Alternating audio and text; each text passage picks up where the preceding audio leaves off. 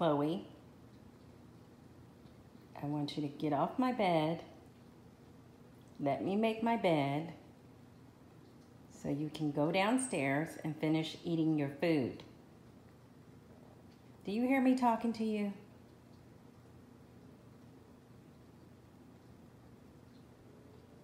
Blink once if you hear me talking to you.